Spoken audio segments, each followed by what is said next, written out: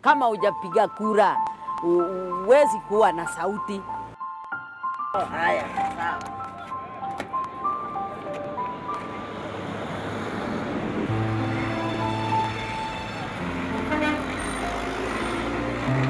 Kwa majina naitwa Jeni Bide Mutiso, naishi hapa Mathare 3B na nimeishi miaka karibu miaka thelathini na tuseme miaka arobaini sasa, kutoka 76 mpaka saa hii ni kama miaka ngapi? Na hiyo miaka yote nimekuwa nikipiga kura, hakuna wakati mmoja sijawahi kosa kupiga kura.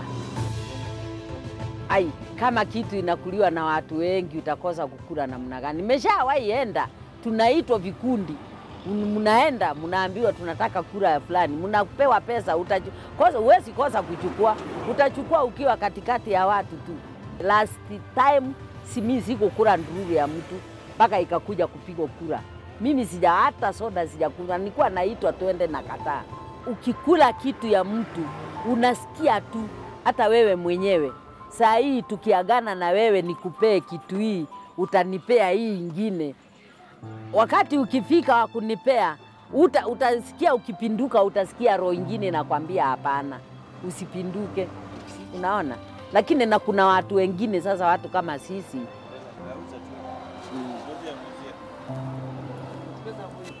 sabuni, hakuna sabuni ya kumi. Sabuni zimepanda, kila kitu imepanda. Mi,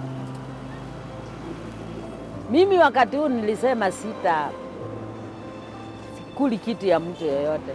Kupiga kura ni mzuri sana, kwa sababu hii ndio sauti ya mtu, ndio inafanya wewe uwe na uwezo wa kuambia serikali ikufanyie yale mambo unataka, kwa sababu nimempigia yule yule nilikuwa nataka, na hata kama amekosa kupita, nimempigia na huyo ndio nilikuwa nataka.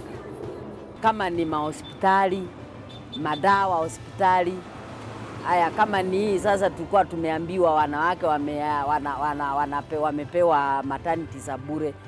Ukienda kwa ground unakuta hakuna kitu. Mkiwa hamjapiga kura, mtoe watu kama hawa wanakula pesa, hauwezi kuwa na uwezo. Lazima ukuwe na kura, ndio watu kama hawa wakikosa kufanya kazi vizuri, unawang'oa na hii kura yako. Tukitaka Kenya ibadilike, twende tukapige kura hata bila kupewa chochote. Mtu achague yule kiongozi anajua kabisa kabisa ataleta mabadiliko, sababu ukinunuliwa unga utakula siku hiyo hiyo hiyo unga na iishe, alafu miaka ingine mitano ukae kwa shida kama hii sasa tuko naye. Na wale vijana wanapenda ku, kupewa shilingi mia moja wanaenda kupigana, ati unapiga ule mwingine kwa sababu sio wa upande wako au nawaambia waache hiyo kitu kabisa. Hii ni maisha yao. Hii kura iwe mawe ya kwenda kugonga ule hawezi kumsaidia, ule hawezi kumfanyia mipango mzuri, ule hawezi kumletea maji kwa nyumba yake, ule hawezi kumwokotea takataka, ule ule hawezi kumtafutia nini ya kazi. Vijana ndio wanafaa kuwa viongozi wa kesho ndio wanafaa kuonyesha njia, wasiongwe hata kidogo. Mtu asiambiwe chukua mawe ukagonge fulani. Hapana, akae kwake kwa nyumba, angojee siku ya kwenda kupiga kura, aende achague ule kiongozi mzuri anayempenda. Basi hiyo ndio itaweza Kenya.